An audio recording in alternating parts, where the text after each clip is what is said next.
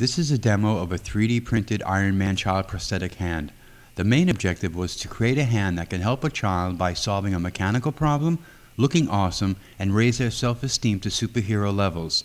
There were three design goals. It had to look awesome, it had to perform awesome, and there would be no strings or mechanics that could distract from the visual impact. The fingers have a slight spread. It has a more powerful and visual appealing look. The angle also helps in grasping objects, and there's another reason you'll see later. On the top of the gauntlet is the cover for the tensioners. It snaps on and off. On the side is the electronics module. To put the hand on, snap off the electronics module and snap off the bottom of the gauntlet.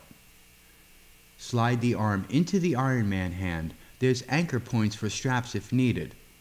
Snap the bottom of the gauntlet back on and snap on the electronics module. The hand functions when the child bends his hand down, the fingers close, hands up, fingers open, fingers closed, fingers open, fingers closed, fingers open. The shield is another key characteristic of the Iron Man hand and it also houses cool weapons like a laser. It has a dual-acting hinge slide mechanism.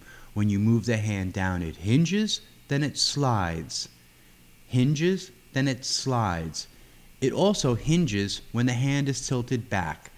And when the two motions are done together, the mechanical movement is fascinating to watch.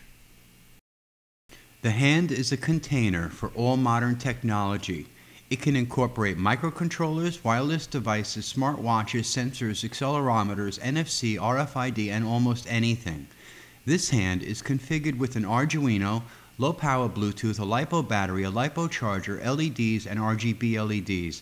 It can even be voice controlled, as you'll see in a future video. The shield houses the lasers and is activated when the hand is bent down. Fire lasers. Lasers off.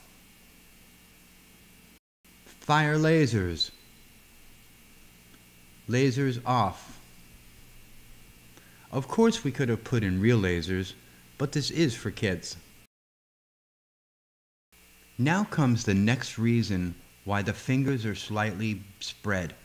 When Iron Man makes that classic pose with his hand held out fingers spread and the thruster is glowing, if the fingers weren't spread, it wouldn't have the same effect.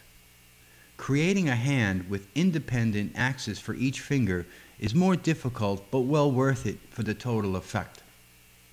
The bottom of the hand houses the thruster and it's activated by tilting the hand back like this. Jarvis, thrusters on.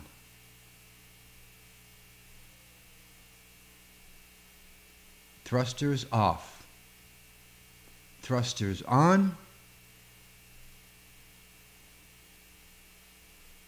Thrusters off.